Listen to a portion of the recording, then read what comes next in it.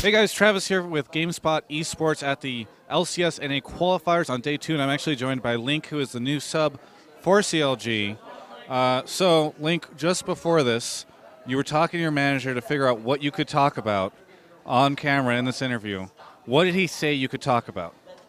Um, well, it's kind of vague. I, I can't really answer. I think. Okay. You have to ask the questions.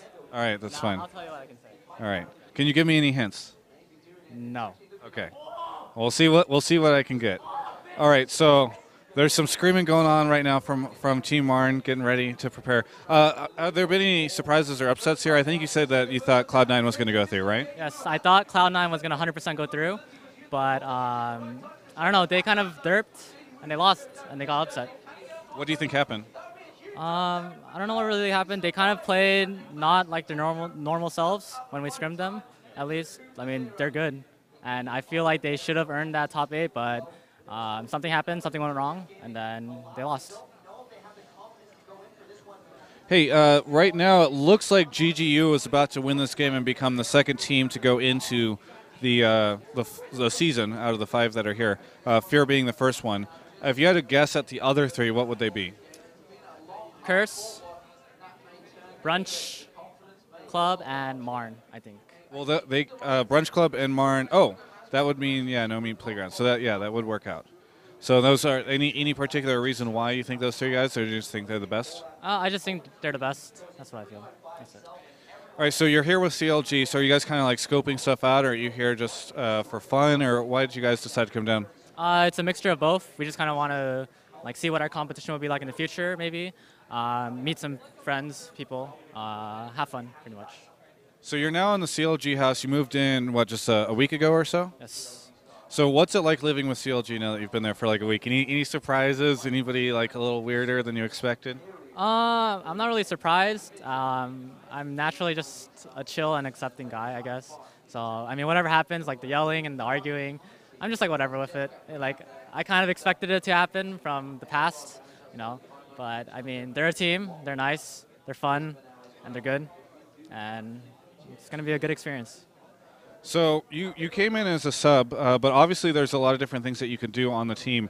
Uh, do you know yet how much you're going to be playing in the games, or are they really just going to keep you sort of on the bench unless somebody could make it? Uh, my aspiration is to become a starter, so we'll see what happens. And you think right now that there's a chance that that might happen in the future? Um, I don't know. Uh, looking forward, um, you know, at, at the different teams that are in already, the teams that are you think are going to come in, and, and uh, you know, like you guys sort of going up against Dig and against TSM. Where do you guys think you'll stand once the season starts, given you know, like your current practice schedule schedule and what you know of the teams right now?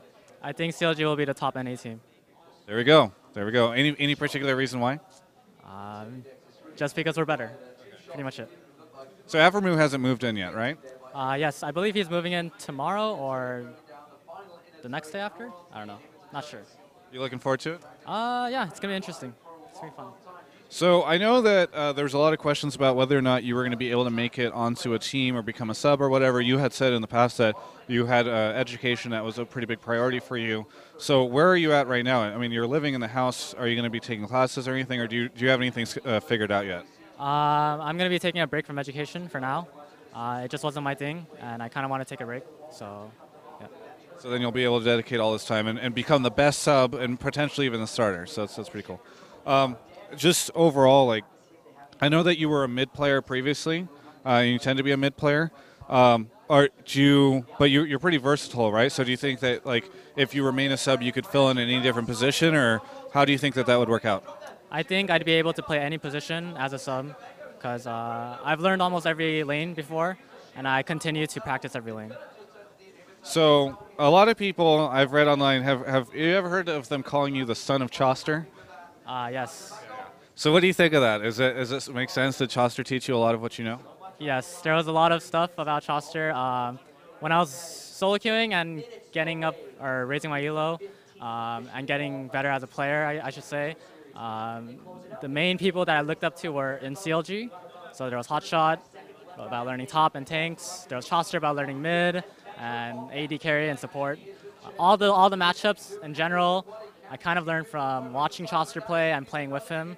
Um, there's also Skara and Hotshot that I owe a lot to. Really cool. So you are considered sometimes a prophet with a lot of the, the tweets that you're able to put out and during the games and all that kind of thing.